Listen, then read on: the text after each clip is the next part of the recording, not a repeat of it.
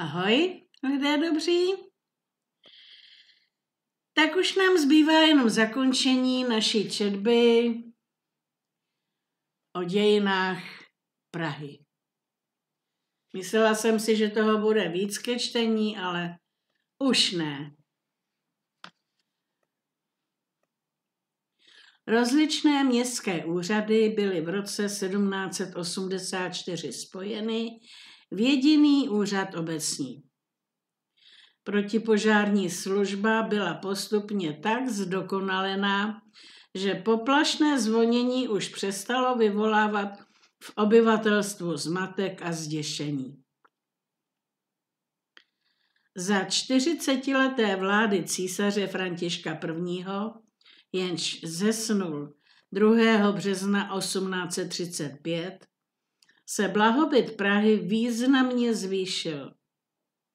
Za příznivého míru vnitřního a uchráněna před útoky nepřítele vnějšího, rozkvetla Praha do krásy navzdory velkým a tíživým válkám mezi Rakouskem a Francií.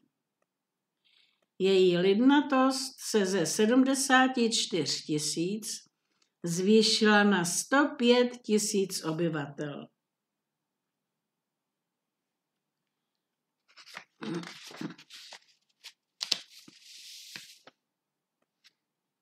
A tohle jsou docela nedokonalé obrázky.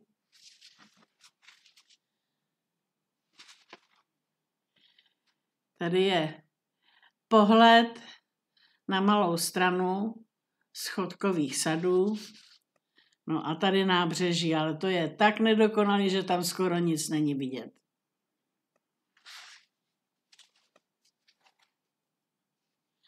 Ano, započítáme-li ještě i posádku a předměstí, dosáhla 125 tisíc.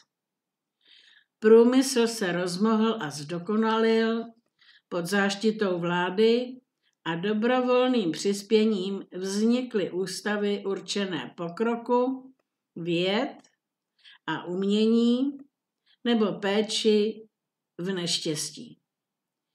Kanalizace proražená uvnitř města přispěla k čistotě a zdravosti jeho prostředí.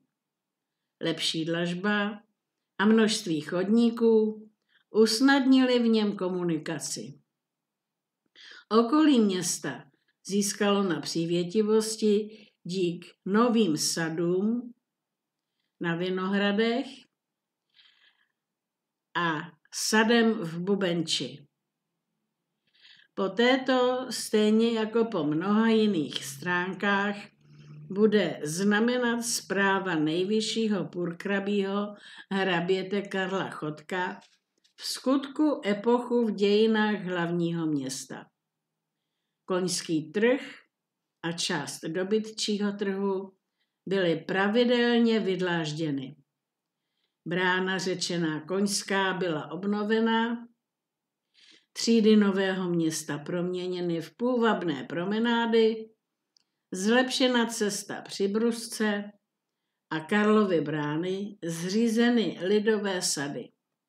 Vltavské břehy spevněny novými nábřežími, mnoho náměstí a ulic zvelebeno. To vše jsou výsledky neúnavné podnikavosti, s jakou nejvyšší purkrabí rozhojňuje blahobyt země a hlavního města, jehož zprávu mu svěřila otcovská starostlivost dvou panovníků. Tak, tím jsme dočetli naši knížečku.